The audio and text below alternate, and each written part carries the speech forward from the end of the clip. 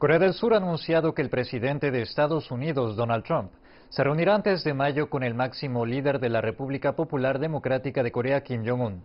El objetivo de la reunión será lograr un acuerdo para desnuclearizar la península coreana.